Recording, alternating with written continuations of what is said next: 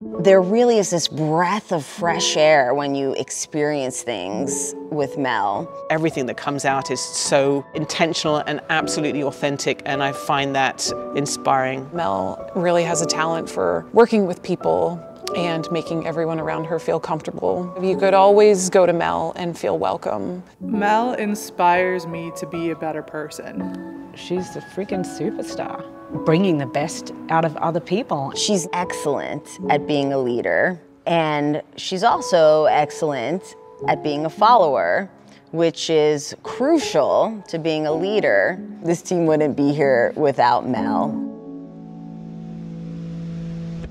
If fear is trying to stop me from doing something, I have to at least question whether or not that fear is right.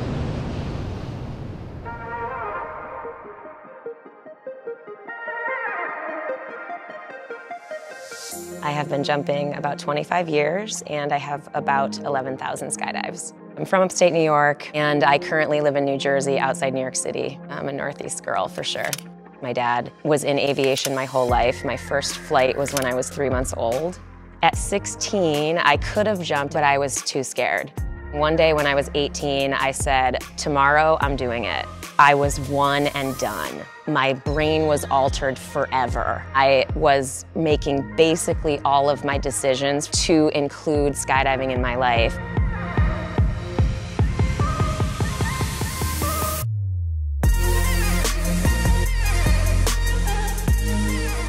When I landed, it just really changed my mind, and that one sentiment has supported my entire life.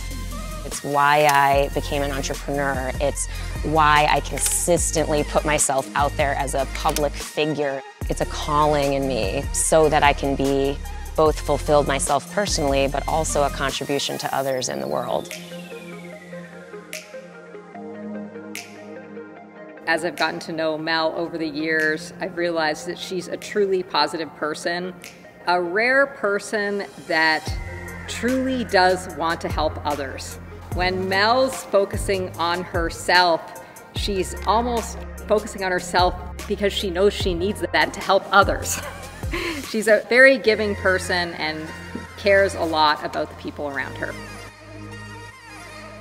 That's one thing about Highlight. Every person on this team is someone that you can trust to that level. Our core mission is to inspire women and girls to live bold, brave lives of their own design. Women are underrepresented in skydiving, and yet here we are, a collective that has come together to champion each other to rise. With our best friends, I literally could cry.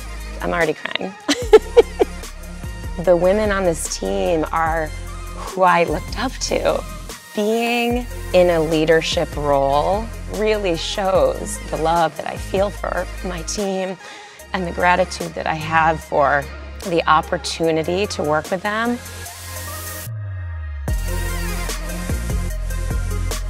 I believe deeply that courageous self-expression is one of our highest contributions to ourselves, others, and the world.